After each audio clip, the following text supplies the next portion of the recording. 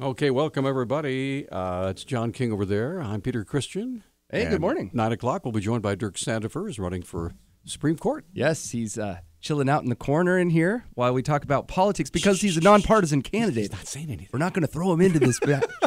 but Peter and I are completely partisan. Oh my gosh. And uh, I, I'm sure you all have your opinions too, and we want to hear them at 721 1290. Tell us what you thought about the big debate. Now, Peter had a strong opinion. I- we talked about it a little bit earlier. What I was your takeaway Well- after well- the. Well, I had I had a special strategy in watching the debate. Okay, first of all, my wife and I have already voted. We got our absentee ballots. We've already voted. It's our Senate, and so a lot of this stuff I'm going la la la la la, you know, because we already made up our minds. However, my strategy was this. Okay, I did not want to watch the whole debate. So what I did was, is I watched the uh, I, I watched the uh, the Cubs you know, dismantled the Dodgers, and I also watched the end of the game where Cleveland beat uh, beat Toronto. So Cleveland's in the World Series. So the two teams I wanted to win had uh, won last night. So I was in a good mood. So I would switch back and forth, you know, in between innings and commercials and stuff, and watch the debate. And and the snippets that I heard, uh, it, it, just looked to me like Hillary Clinton was making Donald Trump look like a clown uh, with with many of the things that that, that he was talking about. And, and that was the mood that I gathered from, I- didn't watch the whole thing from beginning to end.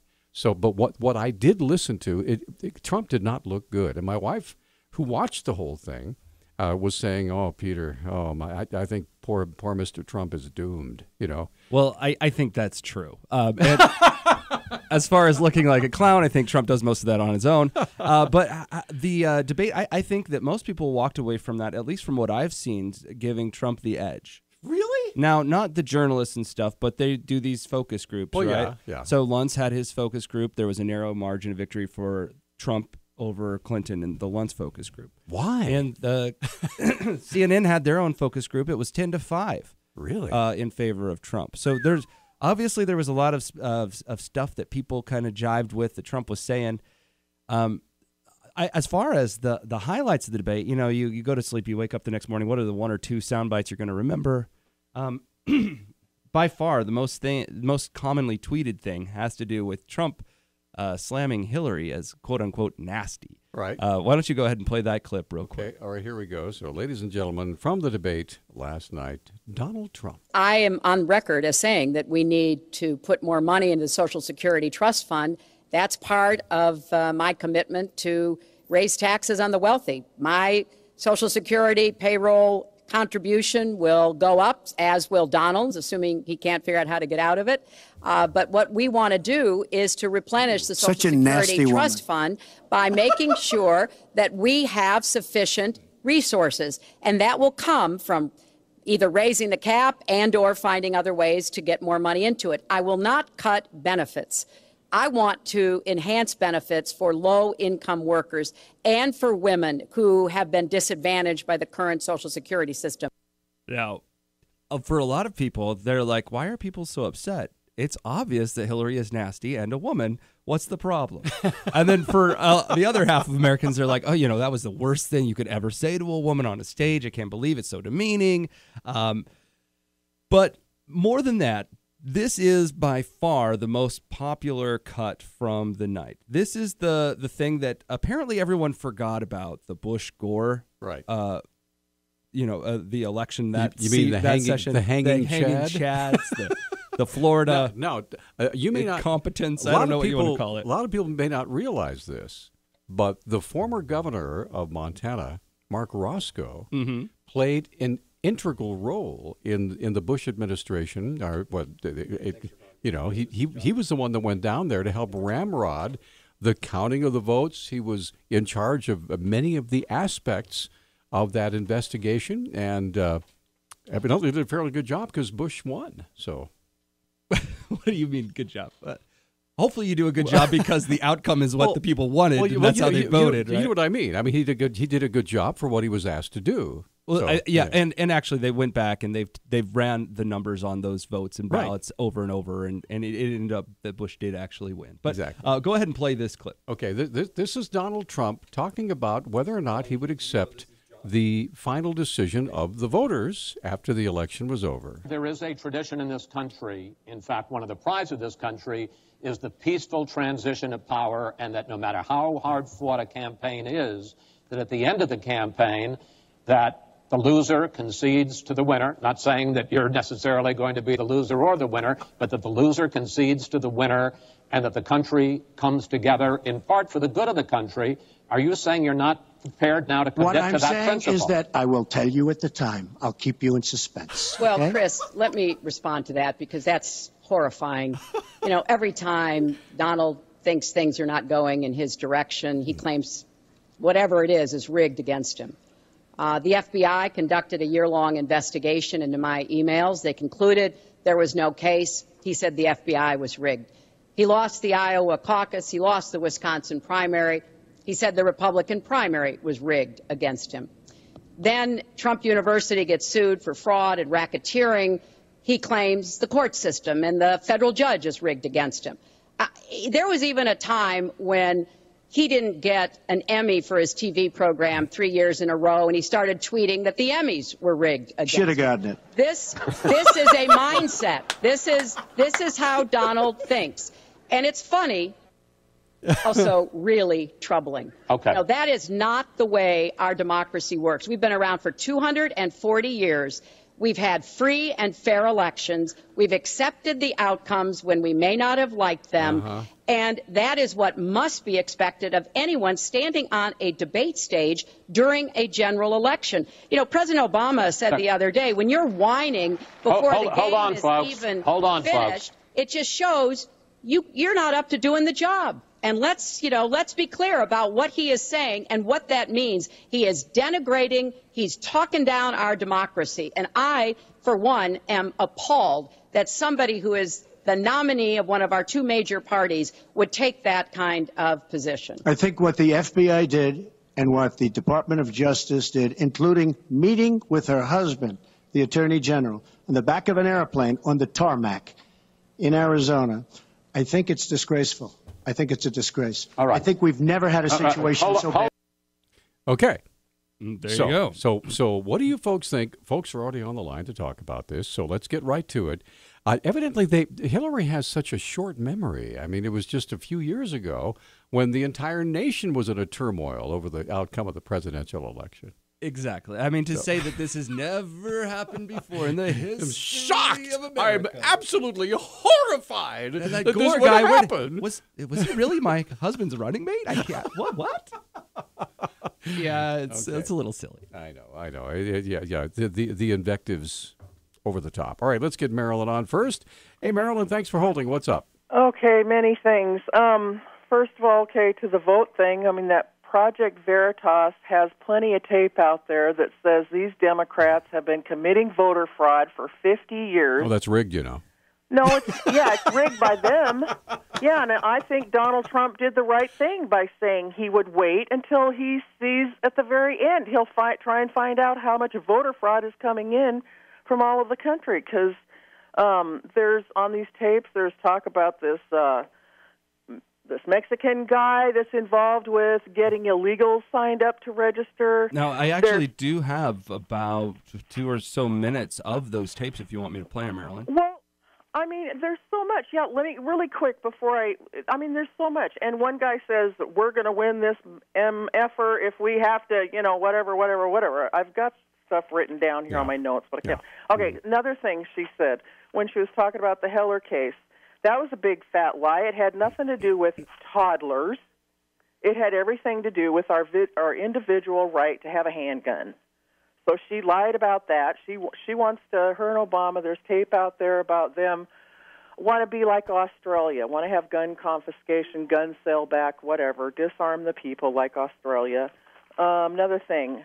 The fact that she keeps going on about how she's for the children, for the children, for the children, for the children. She uses and exploits children whenever she has to, and yet she's the woman that is the blood on her hands of 65 million babies. She can't deny that. She's all for that. She pushes it every time she practically opens her mouth. She's disgusting. All right, Marilyn, we're way past a break, so Okay. we, we, got, we gotta go. Thanks. Appreciate the call. We're gonna get Dave on, and we're gonna get Mike on, and we have two other lines open: seven two one twelve ninety. We're coming right back.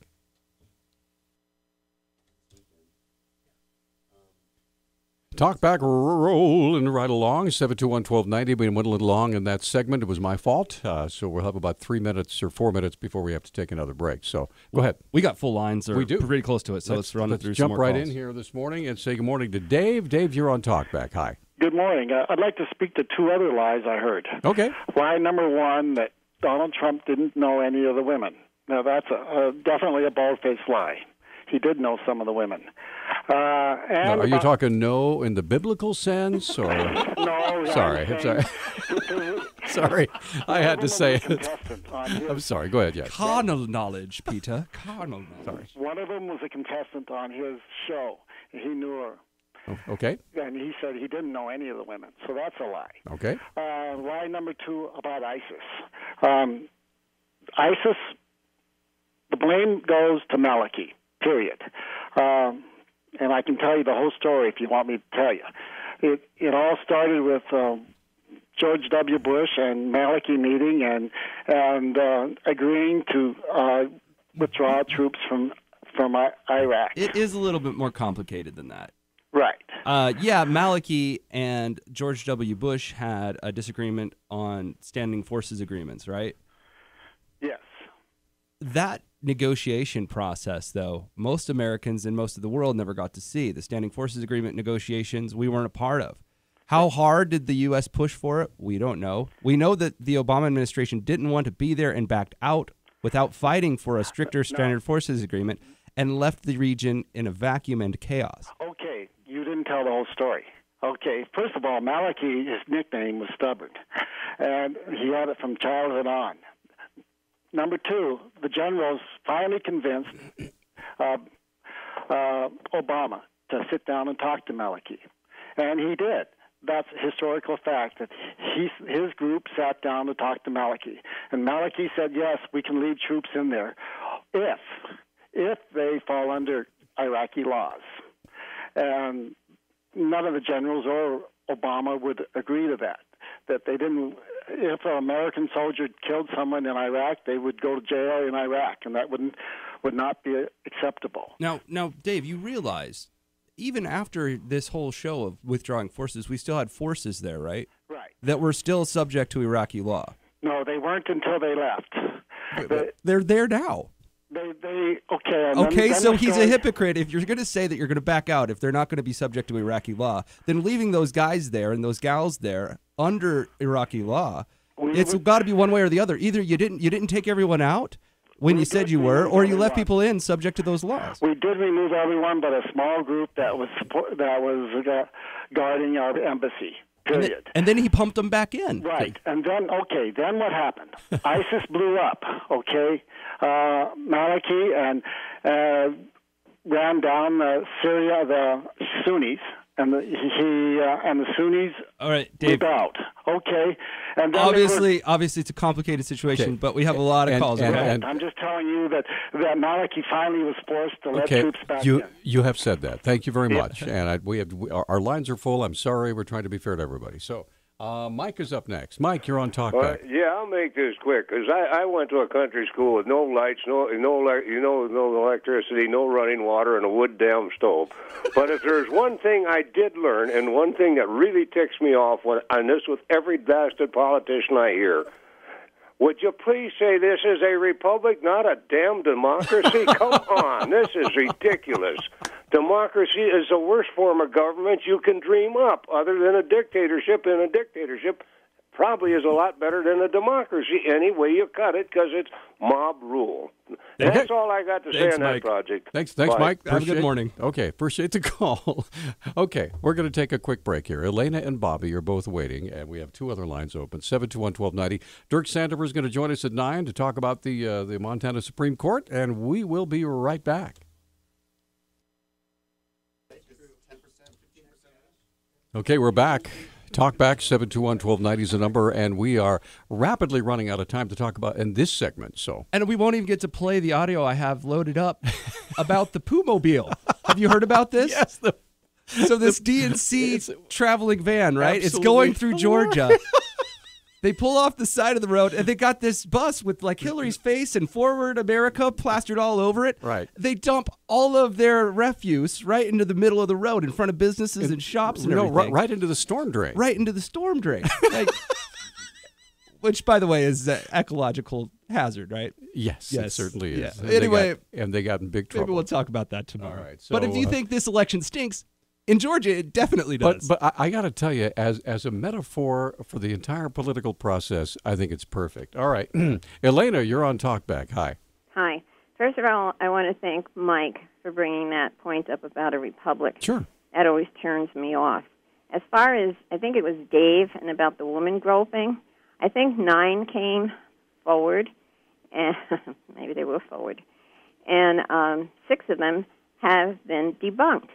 The one that he mentioned uh, that was on his on Trump's show has a restaurant, and in April she invited him to attend her restaurant.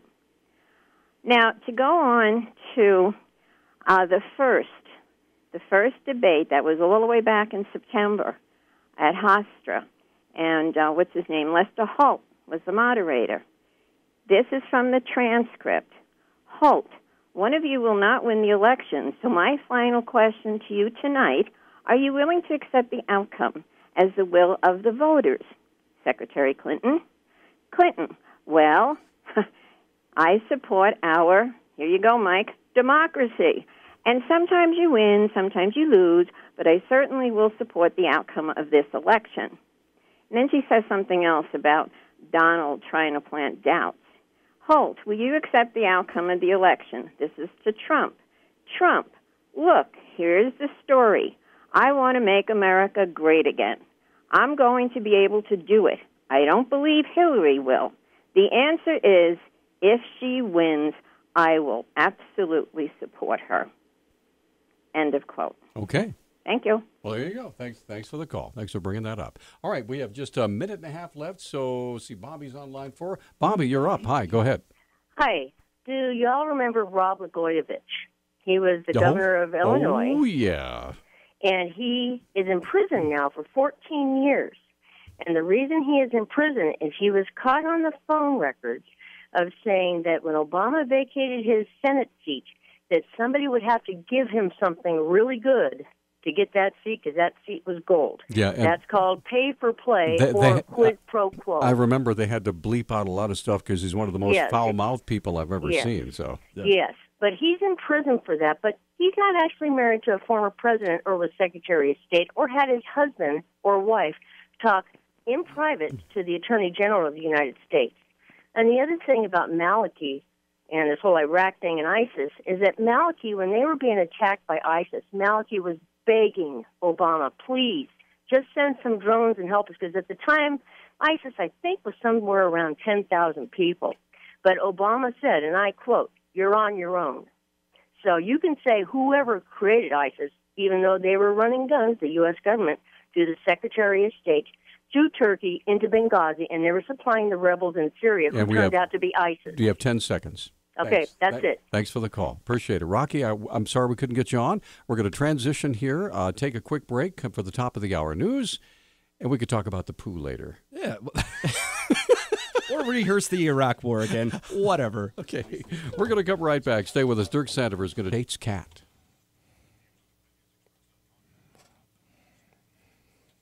Oh, and, and Silway Armory as well. Sorry about that. All right, welcome back, everybody. That's John King. I'm Peter Christian, and uh, joining us here in studio, although he's been here the whole time, uh, kind of a silent partner, Dirk Sandefur. How are you, sir? I'm great. Thanks for having me here this morning. You bet. Now, you you came all the way to Missoula from where to be be here today? From Great Falls. From Great Falls. Okay. So now, for those uh, folk, we had we had Kristen Juras on uh, last week, so we thought only fair that you you should be on as well, running for the Montana Supreme Court.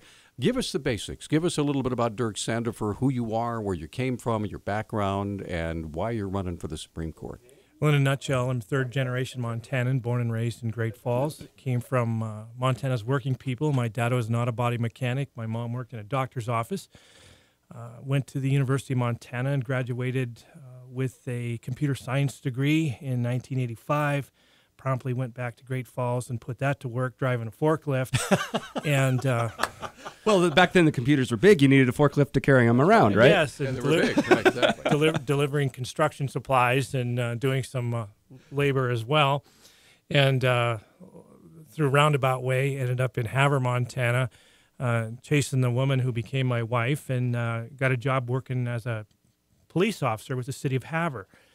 Uh, and uh, was there for three plus years and was introduced to the legal system. And through that uh, experience, went on to law school graduated uh, from the University of Montana with uh, high honors, third in my class in 1993. Went back to Great Falls, went to work briefly in a private law firm. Uh, worked uh, briefly as a contract public defender. I wanted to be a criminal prosecutor. They eventually hired me at the Cascade County Attorney's Office when they got tired of fighting with me. and uh, I was there for about uh, eight plus years uh, as a criminal prosecutor, and I also became chief civil legal counsel for Cascade County, which is a multi headed, multi million dollar public corporation with more problems than you can imagine. And uh, then I was elected uh, in Great Falls to an open seat to a new judicial position created by the legislature in 2002 and I've been a state district judge in Great Falls and Cascade County for the last 14 years. I've been elected three times, the last two times unopposed. And uh, in a nutshell, that's uh, who I am, where I came from. I'm running for the Supreme Court because obviously, as a district judge, I am very familiar with what the court does. They review the work of our district court judges. I've sat on the court as a substitute justice uh, on a number of occasions at the request of the Chief Justice. It's very important to maintain the court uh, as a nonpartisan, non ideological body who decides cases strictly based on facts and law under our state and federal constitution and let the chips fall where they may. And the court races and uh, the public perception of courts have become increasingly politicized over the years, uh, uh, largely because of what's went on in the federal arena where the court is so political. The Montana Supreme Court, I think, has not been overtly political like the U.S. Supreme Court has been, but it's been critifi- criticized at times, uh, sometimes fairly, sometimes not. Would you mind telling me what you think of when you say the court being political? What are you talking about? Are you talking about picking winners and losers, or the way they interpret the Constitution, or siding with Republicans or Democrats, or, or what? Well, political, I guess, is what's in the eye of the beholder. And and what happens is, uh, start with the federal Supreme Court because it is political. It's we don't elect our federal Supreme Court justices and district and and uh, appellate and district judges, but they are selected by a patently partisan political process. Whether the administration is Republican or whether it is Democratic, they go out and they try to select uh, judges uh, to be on the federal Supreme Court uh, who are of uh, like uh, worldview as the administration is. And the bedlam occurs from time to time when uh, some of these Supreme Court justices don't follow type and they're independent, which is actually what they're supposed to do. But then people are are upset about that. But uh, to, to, to get to your question, the, the problem is is this: is that the public, for the most part, looks at judicial decisions based upon whether they like the results or not. And the U.S. Supreme Court, I think, has been fairly criticized over the years for not uh, deciding these cases based on the constitutional principles and the facts of these cases, and not having, or, or, or excuse me, and being free from uh, political or social policy influences.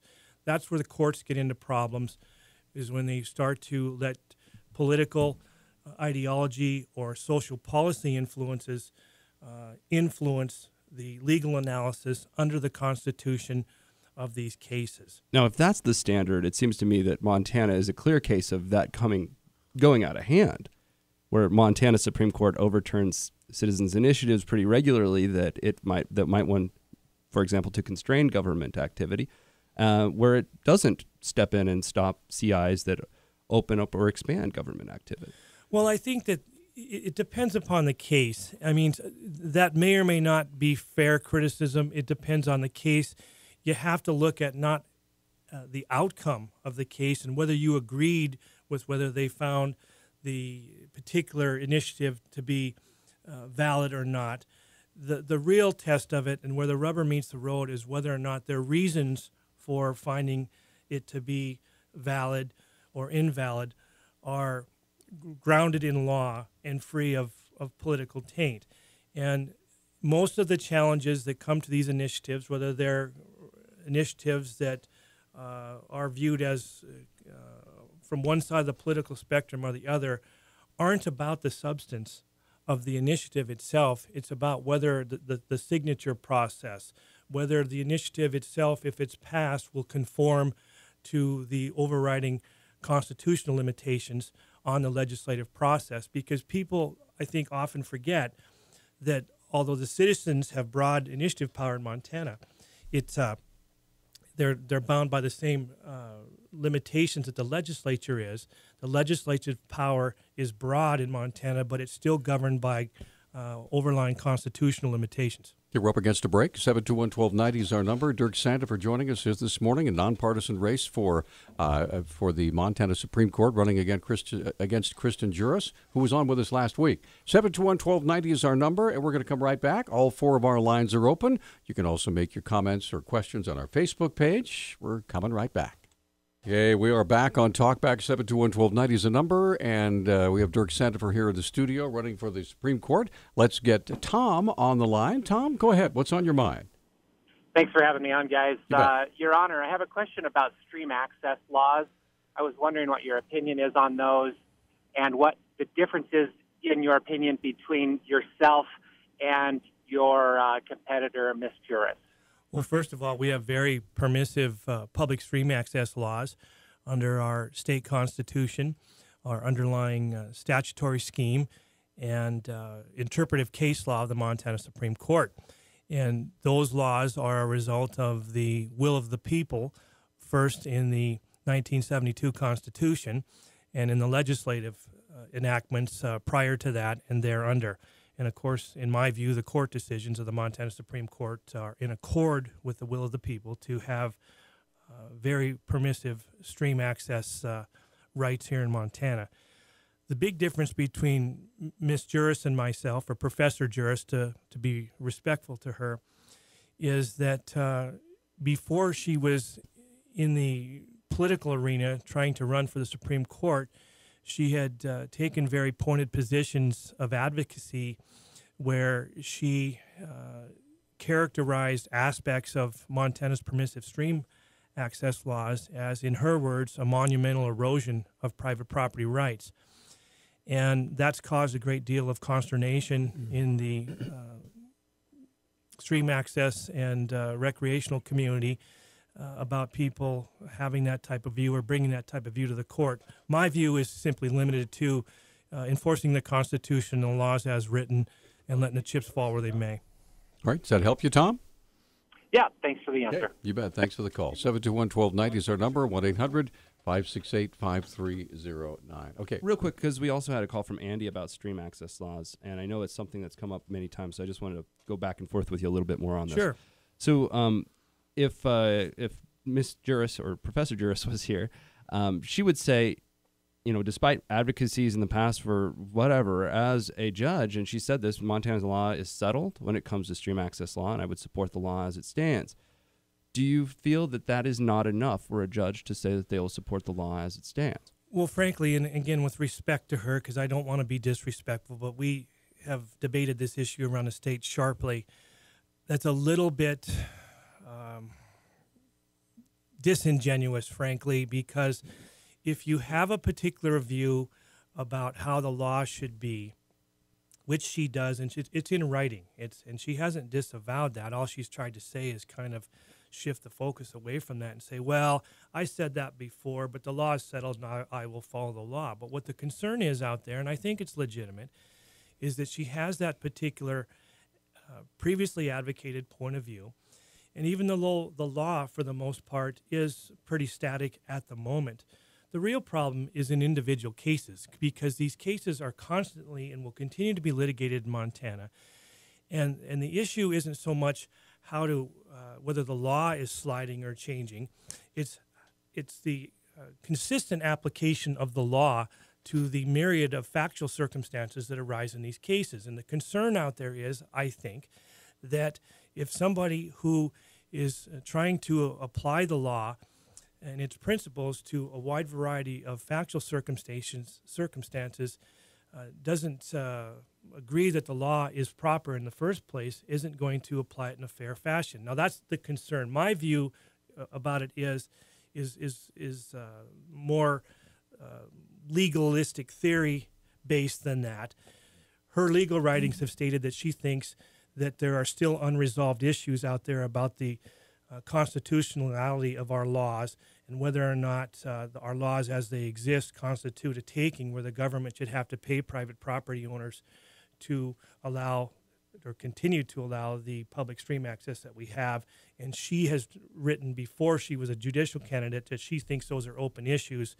And I, frankly, am concerned about that, that Well, that is is a bias. Well, is it an open issue? Has it been tried in the Supreme Court before? Well, the point that she she took is that listen, these laws have been never been challenged as a constitutional taking, and she implied in her writings that uh, she thinks that that's a valid issue and that they may be.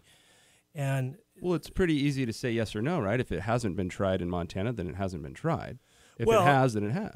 I, I can't take a position on that. It would be unethical for me to tell you right now uh, whether or not that I think it's a taking or not, because number one, uh, as a matter of professional ethics, that would be me stating an opinion on the law on a case that could come, be, come before the court. And secondly, it would be irresponsible in any event, even if I could state that opinion, because these aren't just purely legal issues in a vacuum.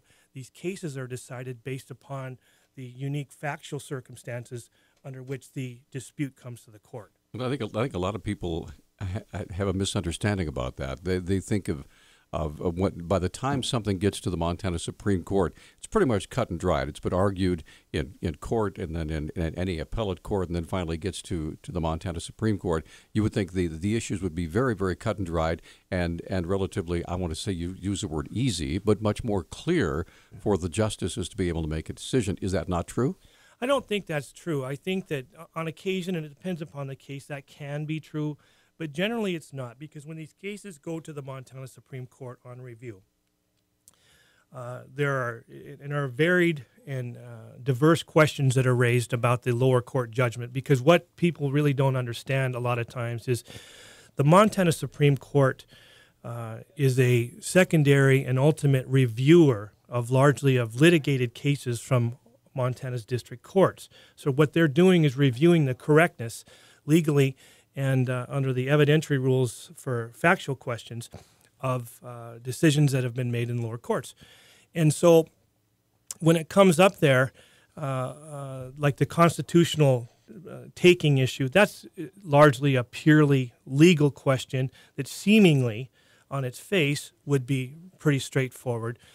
But it's not because, again, the, the, the, it turns on the factual issues in the case and uh, uh, the the impacts uh, on private property rights, the nature of the of the public right that's at issue, whether they're in conflict, to what extent, and there's there's a, a lot more that goes on there And than that- meets the eye. And that's why there are seven of you, right? That's why there are seven, and that's why even when the law is fairly well uh, uh, static or settled, um, these cases push the, the boundaries of the law because the trick on the in the court system not isn't not only to define and interpret what the law is, but to ultimately make a decision how it applies to the ever-changing factual circumstances that come in in these cases. Okay, we're going to take a break, and we have Mike in Maryland and two lines open. And uh, Dirk Sandefur is joining us here in studio this morning. Run for the Supreme Court, a nonpartisan uh, race. We'll be back with that, with more of that in a moment. Hey, we're back. This is Talk Back. I'm Peter Christian. That's John King. Joining us in studio, we have Dirk Sandefur, uh, running for the Montana Supreme Court, and we have all, almost all four. You're almost a rock star. You get all four, you're a rock star. One more, people. One, more. more. One more is all he needs. 721-1290 is the number. Mike is on the line. Go ahead, Mike. Yeah, I'm going to ask you two questions here. I was I told John to ask you one. I wasn't even call, but one is why should I vote for you? Because you say you're a third generation Montanan. What it says to me is I am a third a third generation Montana. Therefore, I'm smarter than dumb Mike that came from Minnesota. Second one is define uh, navigable river in this state. I, I think I know the answer, but, but uh, I don't think everybody else does. The case against Minnesotans is pretty clear, isn't it? I, we've adjudicated this yeah, before. Okay, yeah, because a guy spent a year out year, year out here in Montana from Minnesota. There was a guy spent a year out here from Minnesota, and after a year, he said, "Oh, to hell with these United States, I'm going back to Minnesota." There you go. But seriously, Thanks, okay. Mike. Thanks for the laugh. So, so navigable waters. What if you can define that? Well, first of all, Mike, I, I don't have any uh, philosophical or discriminatory uh, bent or view against Minnesotans or anybody else. In, in regard to your question about why I talk about being a third generation Montanan, it's superficial information. You you're right about that. Uh, it was uh, in response to the question of uh, who are you and where'd you come from and what's your background. So uh, I don't uh, attach any more significance to it than that. As to what is a navigable uh, stream or waterway, uh, th- that's a uh, what should be a pretty simple issue of uh, state and federal law, but in practice is not, and uh, it, it uh, it's often in dispute under state and federal law, and it, it's a, a technical discussion that uh, is probably not that interesting, and I probably can't answer in the course of a minute. But but uh, it, it uh, that's part of what the battleground is on some of these stream access cases and other cases that aren't just recreational stream access cases. They're about other matters as well. Not only that, Uh, but we- we're getting into wa- possible water rights things, right? That's right. Yeah. Um, so one question I really wanted to ask you is, uh, you know, a lot of people don't really understand when they talk to Supreme Courts or hear Supreme Court candidates talk. They don't really know where their decision-making process, how it works, the intricacies of it, because it's a really complex system of information you need to know and laws that you've had adjudicated and witnessed to. So, you know, we kind of dumb it down to either an originalist, liberal kind of interpretation of the law. So I'm going to kind of dumb it down a little bit to try to get where you kind of sit on the spectrum. But you know, when it comes to approaches to the text, do you view the style of someone like Antonin Scalia, or do you prefer the style of someone like Ruth Bader Ginsburg? Well, I, I don't think I model myself after either of those styles or philosophical approaches. I think uh, I'll just ask you or answer your question straight up and tell you how I approach these cases. Whether we're talking about uh, the federal constitution or the Montana Constitution or enactments of the Montana legislature, you, it starts and stops with the plain text and plain meaning of the language of the constitutional or statutory language. And if it is clear and unequivocal on its face, then it's the function and duty of the court to apply the clear and unequivocal uh, language and meaning of, of the language to the factual issue uh, in front of you. If, if the language is vague or, ambig- or, or ambiguous, then it's the duty of the court to try to interpret that in accordance with the uh, manifest intent from the uh, express language of the enactment. Uh, and sometimes you have to resort to the constitutional history, uh, the legislative history, uh, to discern that. Uh, and um, and where the court gets into trouble, though, is sometimes is that there are constitutional provisions or legislative enactments that just weren't intended and contemplated to address the particular issue before the court. And when that happens, the court needs to stop. The court just needs to stop and say, listen, this is a legislative or a congressional matter uh, that is beyond the purview of the court. You can't have the court, uh, the, the, the politically charged term is legislating from the bench. I agree with that.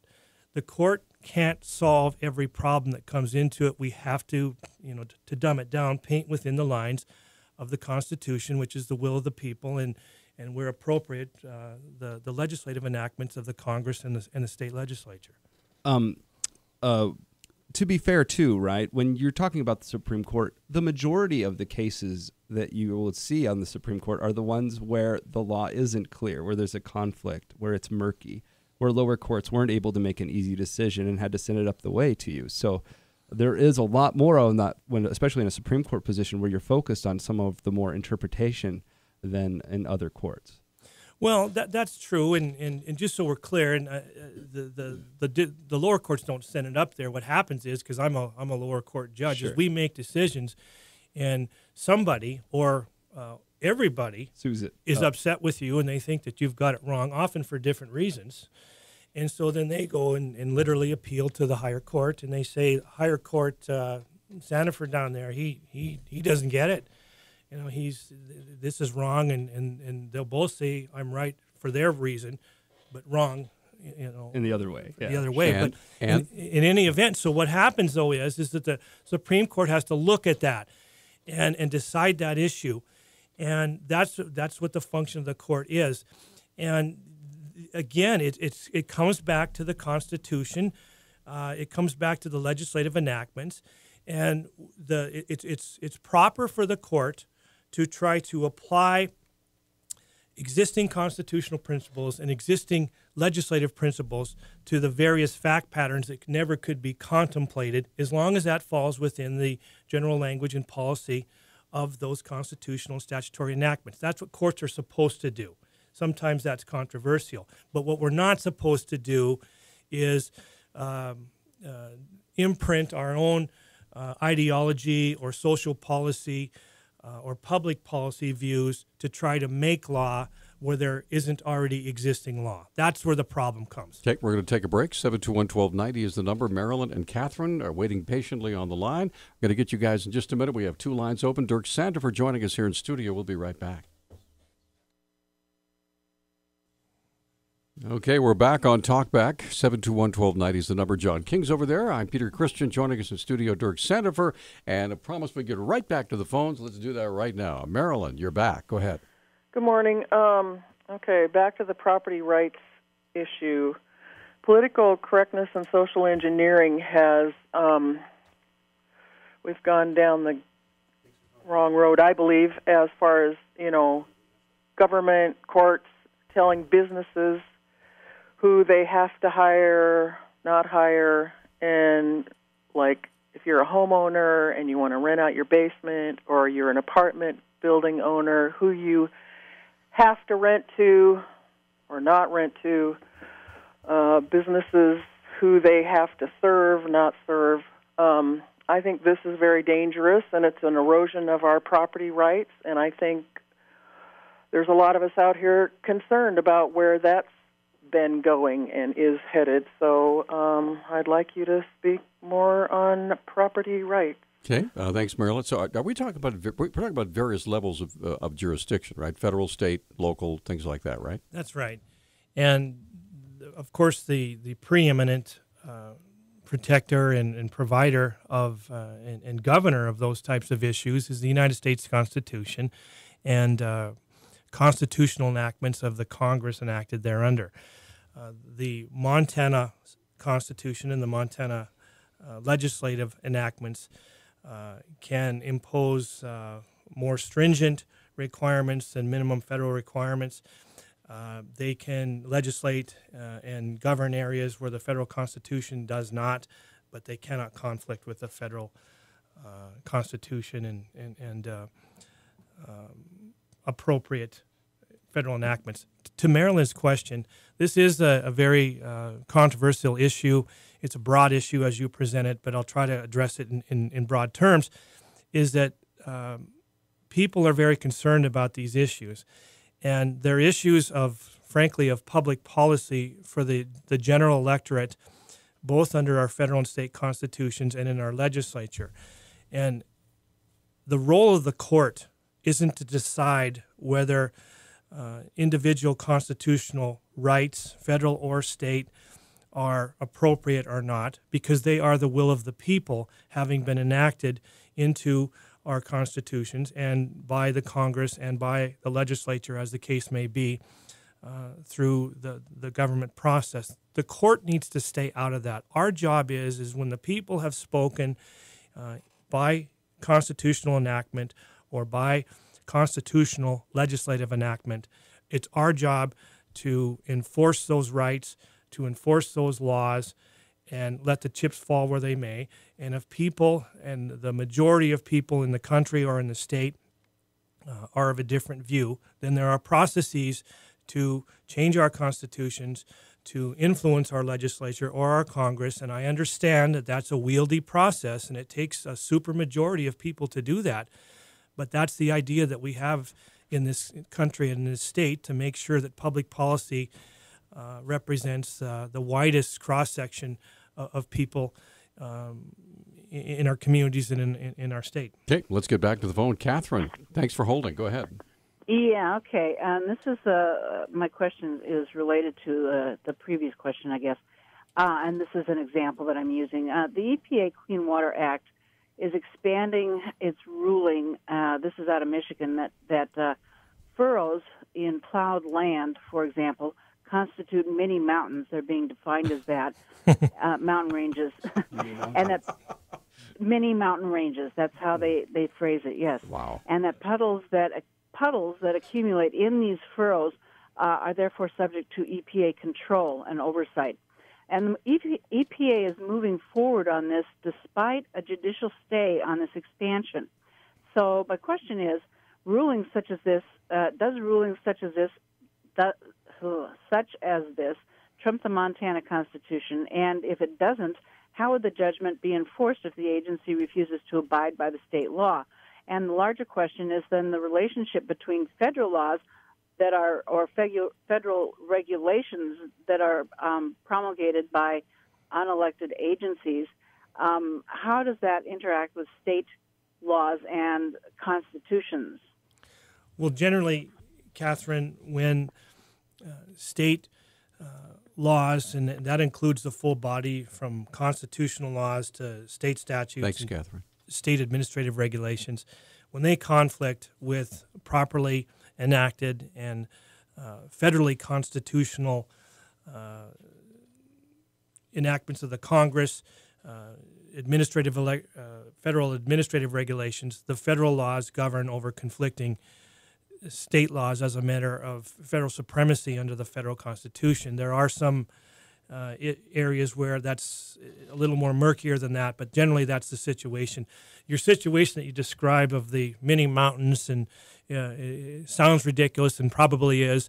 Uh, I, I, understand your frustration. I've dealt with that in the in the state district court uh, when we're dealing with disputes there between um, uh, government regulatory agencies taking unreasonable positions uh, with private people and uh, that's one of the things that that uh, I felt good about my career is when I have dealt with those cases, and have been able to cut through that uh, in individual cases to find some reasonable application of the law. That's a good thing for everybody. But I, I don't know that I can comment on it much farther than that because I, I just don't know enough about the particular situation you're describing.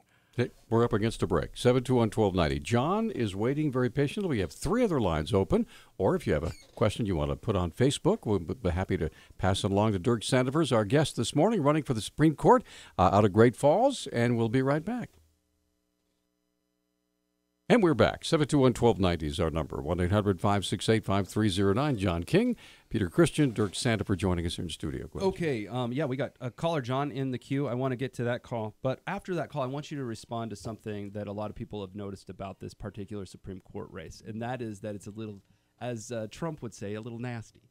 Uh, it's been pretty hard fought, uh, which is a little atypical for Montana Supreme Court races. Um, in fact, you described it to me before the show as a knockout, you know, drag out, knockdown, drag out sort of engagement. And, you know, whether it's um, you being charged with uh, being too favorable to child pornographers or um, being too cozy with trial lawyers or, you know, whatever. There's been a lot of charges that way. And then on the other side, there's charges of uh, your opponent being bigoted when it comes to her approach to the law I guess my question after we talk to John, and I want you to talk about this race. Do you think that this is actually the two of you as you are, or is this the money that's pouring into the race and the interest that the Supreme Court race has in Montana? Or are these legitimate issues that are being raised? Uh, we'll, we'll talk about it in a second, but I just kind of want to set the stage because I do want to get into that before the show's over. Okay, let's get John on first. Hi, John. What's on your mind? Yeah, thanks for taking my call. I missed the first half hour, so I've got a couple of comments. Hopefully, nobody's already pointed them out. Go ahead. First is uh, the the fairy tale that federal Supreme Court and state Supreme Court judges are nonpartisan is the biggest fairy tale out there. Secondly, uh, if you look at our Montana Supreme Court, they've all, every one of them, were backed by the Montana Trial Lawyers Association, who donated a huge amount of money to make sure that they got in there. So they're in the pockets of the Montana Trial Lawyers Association. So when I tell people, they ask me who to vote for in the Supreme Court race, I say, do not, do not vote for the person who is being backed by the Montana Trial Lawyers Association. Let me ask you a question because um, this has come up in the debate. Actually, I just referred to it a few seconds ago. Why is the endorsement of the Montana Trials uh, Trial Lawyers Association a, a bad thing in your view? Because they spend so because they're the ones that go before the Supreme Court all, all the time here in Montana, and they spend so much money get, making sure each one of those people get elected that they're they're partisan. There's no doubt about it. If you look at the rulings they've made over the years, of course, not many people pay attention to that. But if you do pay attention to it and you've got half a brain, it's easy to figure out. All right. So what? So what's your question for Dirk I don't have a question. That's just my suggestion. do not vote for the person that's backed by the Montana Trial Lawyers Association. Okay. Thank, thanks for the call. Well, that sets up my question prior as well. So I guess you can go into that. Well, John, I'm actually thank you for raising those issues with me. I won't purport to try to uh, defend anybody else. All I can do is talk about myself. And th- this is the straight uh, scoop on this as it relates to me. I've been a district judge in one of Montana's busiest judicial districts for the last 14 years. I've got a tried and true and proven record of being fair, impartial, and fiercely independent. And unlike my opponent, and unlike most people who run for office, every single thing that I've done over the last 14 years has been on the record, either in a written decision and or in a verbatim transcript of what I've done where I've stated what I've done and why. I would defy anybody to find any hint of partisanship or personal ideology in anything I've ever done. Reasonable people can certainly disagree and often do about whether or not I was right on a particular situation, but it has nothing to do with partisanship or ideology. This trial lawyers issue. Go ahead. No, go ahead. Um, I can't control what the trial lawyers do.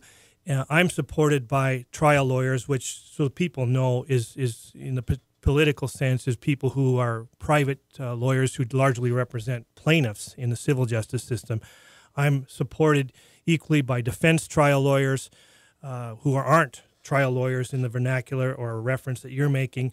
I'm supported by um, civil practitioners, criminal prosecutors, criminal defense lawyers. I have broad support across the entire legal spectrum of the state of Montana. I'm also happy to tell you and proud to tell you I am supported and endorsed publicly by every single Montana retired Supreme Court justice. These are the people that Montanans have trusted over the last 20 years on our court. They represent a wide variety of legal thinking. They haven't always agreed on much, but they agree that I am the proper and most qualified candidate for this position. Now, your uh, your opponent in this race, um, uh, Professor Juras, has been advocating herself as an outsider of sorts, a different view on the court, pre- presenting different uh, opinions and positions with experience and in in aspects of law that the rest of the court just doesn't have. I would like you to kind of address that argument that, when, that when she we come, made. when we come back from the break.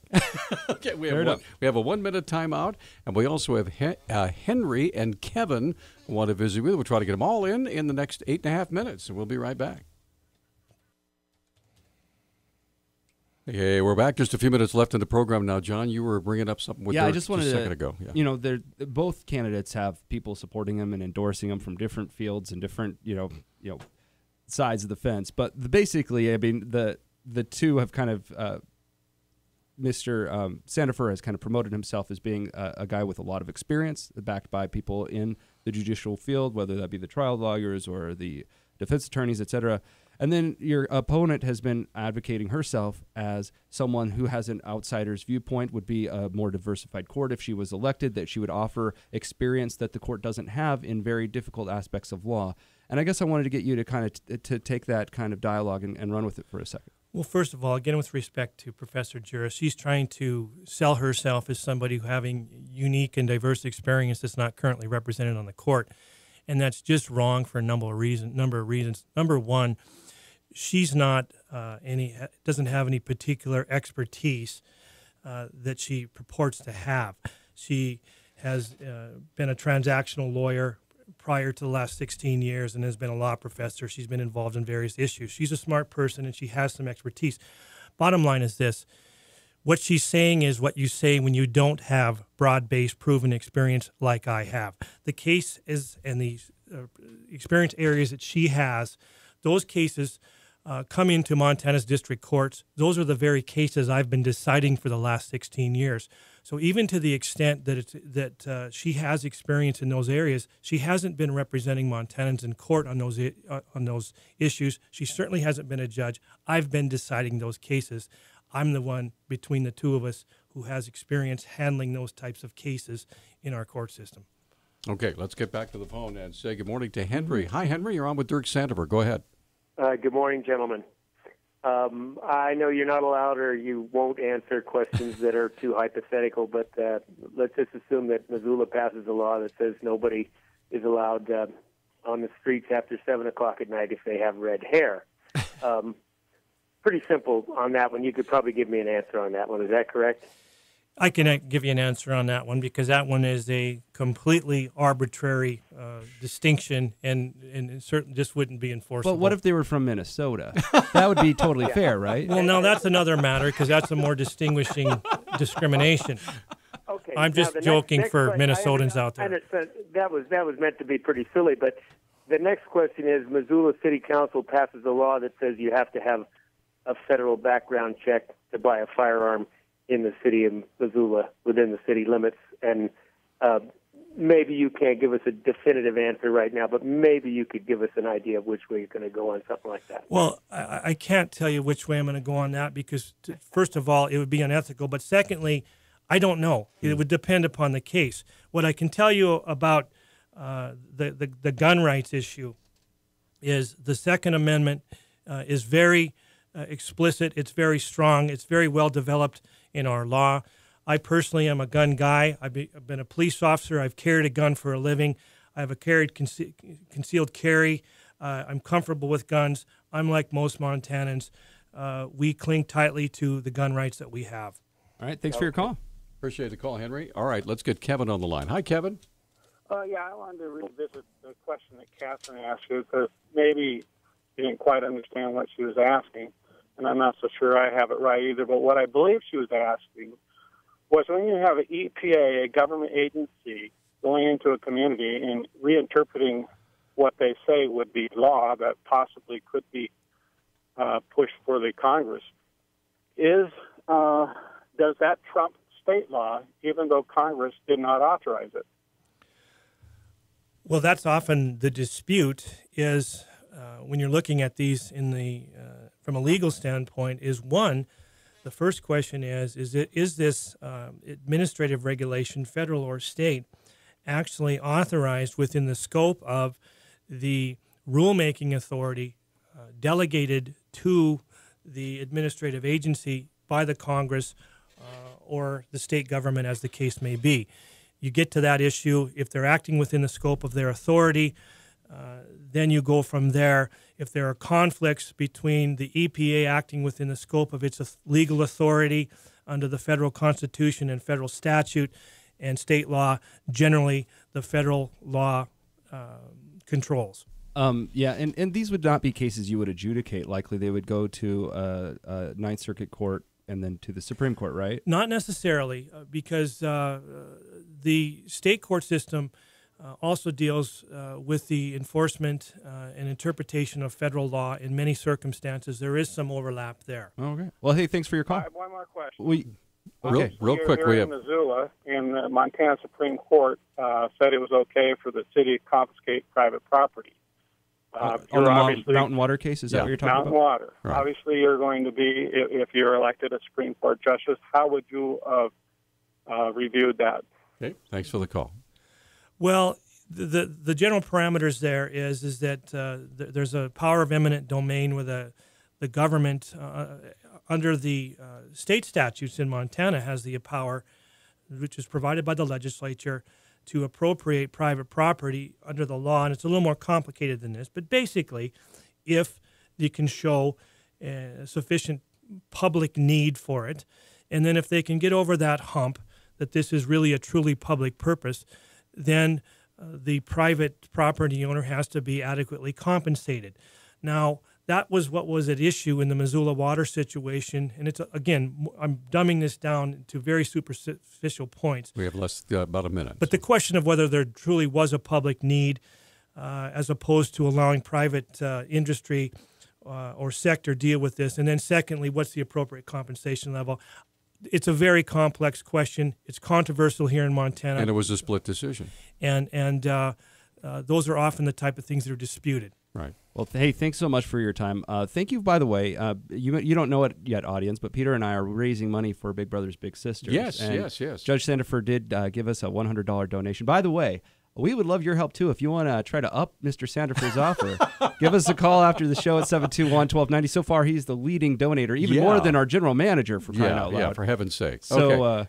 uh, uh, yeah, give us a call 721 1290. We'll put you on the It was list. a pleasure meeting you, sir. Thank you, guys. This has been great, and thank you to the audience. You bet. And uh, that's going to do it for today. So, John, uh, tomorrow's Friday, of course. Yeah, Forte is actually going to swing by for a little bit. Ah, We'd love okay. Governor Bullock to swing by too. Absolutely. Well, have a It's great only a day. plane right away. Bye bye.